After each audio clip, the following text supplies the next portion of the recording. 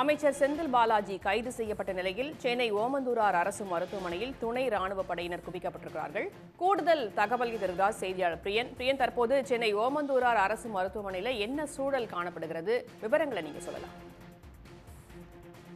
இந்த தினம் அதிகாலையில் ஏற்பட்ட திடீர் உடல் நலக்குறைவின் காரணமாக அமைச்சர் செந்தில் பாலாஜி தற்போது இந்த ஓமந்தூரார் மருத்துவமனையில் அனுமதிக்கப்பட்டு தீவிர சிகிச்சை பிரிவில் சிகிச்சை பெற்று வருவதாக தெரிய வருகிறது. திடீரென ஏற்பட்ட அந்த நெஞ்சுவலியின் காரணமாகவே அவர் தற்போது சிகிச்சைக்கு உட்படுத்தப்பட்டு மருத்துவர்களுடைய கண்காணிப்பில் வைக்கப்பட்டிருக்கிறார். இந்த சூழல்ல அதிகாலை முதலே தொடர்ச்சியாக தமிழ்நாடு அமைச்சர்கள் ஒவ்வொருவராக அவரை நேரில் சென்று சந்தித்து வருவதும் சந்திக்க சென்று வருவதும் அவருடைய உடல்நிலை குறித்து கேட்டறிந்து வருவதும் தற்போதைய கள நிலவரமாக இருக்கிறது. அதிலும் அமைச்சர் உதயநிதி ஸ்டாலின் ரகுபதி சேகர் பாபு மா சுப்பிரமணியன் போன்ற அமைச்சர்களும் சென்னையில் இருக்கக்கூடிய சட்டமன்ற உறுப்பினர்களும் தொடர்ச்சியாக மருத்துவமனை நோக்கி சென்ற வண்ணமும் அங்கு அவருடைய உடல்நிலை குறித்து விசாரித்த வண்ணமும் இருப்பது குறிப்பிடத்தக்கது. மேலும் துணை ராணுவ படையினர் அங்க மருத்துவமனை வளாகத்தில் குவிக்கப்பட்டு அவர் அந்த மற்ற அந்த நடைமுறைகள் என்பதை மேற்கொள்வதற்காகவும் அமலாக்கத்துறையினர் அவரை கைது செய்திருப்பதாகவும் தற்போதைய கள நிலவரம் படி தெரிய வருகிறது. இதன் காரணமாக தற்போது மிகவும் ஒரு பரபரப்பான சூழலானது ஏற்பட்டு வருவதை நம்மால் பார்க்க முடிகிறது. இந்த சூழல்ல அவரை பார்த்த அமைச்சர்கள் தெரிவித்த கருத்துகள் என்பது மிக முக்கியமான விஷயமாக இருக்கிறது. அதிலும் அமைச்சர் ரகுபதி தெரிவித்ததன் படி அடிப்படையில இந்த சோதனைகள் நடைபெற்றதிலும் அதன் தொடர்ச்சியாக மேற்கொள்ளப்பட்ட கைது நடவடிக்கைகளிலும் உரிய சட்ட நடைமுறைகள் என்பது பின்பற்றப்படவில்லை என்ற ஒரு குற்றச்சாட்டை அமைச்சர் ரகுபதி முன்வைத்திருக்கிறார். அதிலும் நேற்று தினம் காலையிலேயே இந்த சோதனை தொடர்பாக முழு ஒத்துழைப்பை வழங்க தயார் எனவும் சோதனைக்கு என்ன ஆவணம் கேட்டாலும் அதனையும் கொடுக்க கொடுக்கவும் அது தொடர்பாக விளக்கம் அளிக்கவும் தயாராக இருப்பதாக அமைச்சர் செந்தில் பாலாஜி தெரிவித்திருந்த நிலையிலும் கூட இந்த நடவடிக்கைகளில் உரிய சட்ட வழிமுறைகள் என்பது பின்பற்றப்படவில்லை என்ற ஒரு வாதம் என்பது தற்போது எழுந்திருக்கிறது.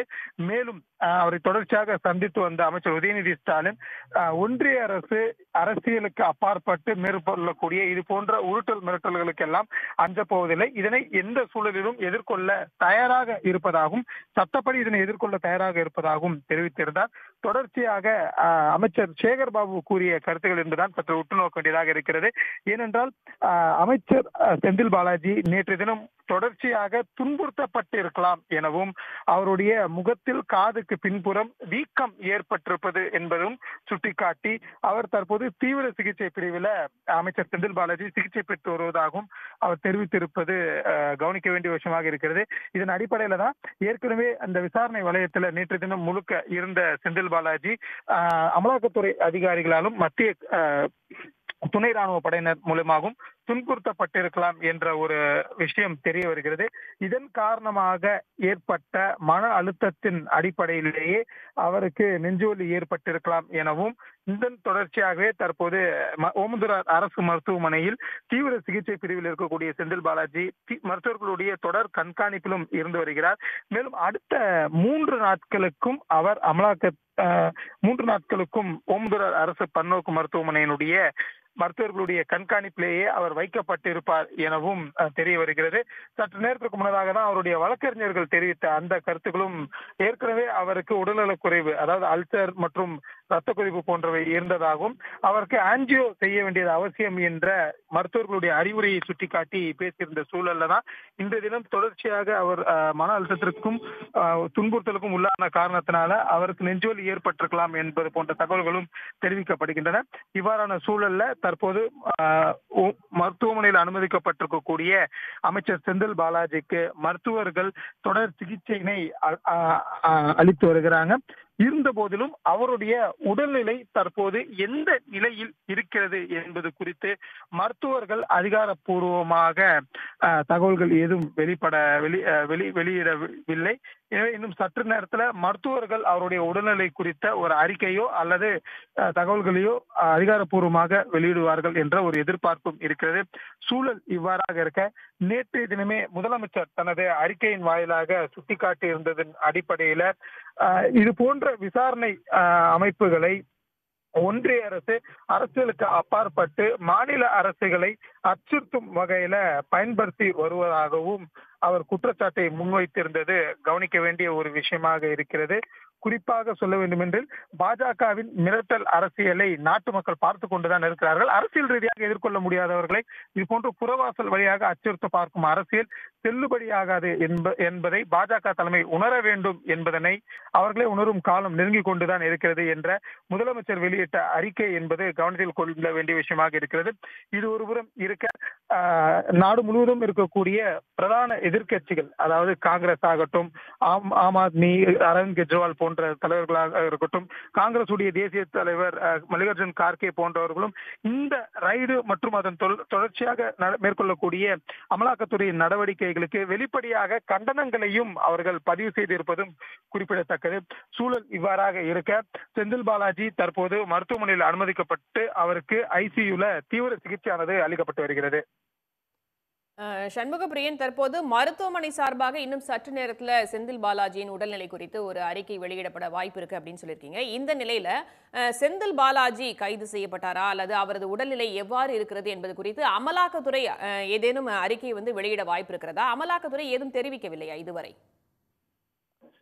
இந்த சோதனைகள் தொடர்பாக ஏதேனும் ஆவணங்கள் கைப்பற்றப்பட்டதா? அல்லது அவர் மீது வைக்கக்கூடிய அந்த குற்றச்சாட்டுகளை நிரூபணம் செய்யும் வகையில மற்ற ஏதேனும் விவரங்கள் கைப்பற்றப்பட்டதா என்பது போன்ற எந்த ஒரு தகவலையும் அதிகாரப்பூர்வமாக தற்போது வரை அமலாக்கத்துறை அதிகாரிகள் வெளியிடப்படவில்லை. அதே நேரத்தில் அவர் கைது அமலாக்கத்துறையினரால் அவர் கைது செய்யப்பட்டிருப்பதாக தகவல் மட்டுமே வெளியாகி இருக்கக்கூடிய சூழல்ல துணை ரா- துணை ராணுவ படையினரும் இந்த மருத்துவமனை வளாகத்துல குவிக்கப்பட்டு முழுமையாக அந்த கட்டுப்பாட்டு வளையத்திற்குள் கொண்டு வரப்பட்டிருக்கிறது இதன் அடிப்படையில் பார்க்கும்போது அவர் அஹ், கைது செய்யப்பட்டிருக்கலாம் என்ற ஒரு தகவல் தான் வெளியாகி இருக்கிறதே தவிர அமலாக்கத்துறை அதிகாரிகள் சார்பிலிருந்து தற்போது வரை அதிகாரப்பூர்வமாக கைது தொடர்பாகவும் அல்லது ஏதேனும் ஆவணங்கள் சிக்கப்பட்டு சிக்கப்பட்டிருக்கிறதா? அவர் மீது வைக்கப்பட்டிருக்கக்கூடிய குற்றச்சாட்டுகளை ஊர்ஜிதப்படுத்தக்கூடிய வகையில ஆவணங்கள் இருக்கிறதா? கைப்பற்றப்பட்டிருக்கிறதா என்பது குறித்த அதிகாரப்பூர்வ தகவல்களை தற்போது வரை அமலாக்கத்துறை அதிகாரிகள் வெளியிடப்படவில்லை. இதனை அடிப்படையாக கொண்டுதான் அமைச்சர் ரகுபதி வைத்திருக்கக்கூடிய குற்றச்சாட்டு என்பதும் கவனிக்க வேண்டியதாக இருக்கிறது.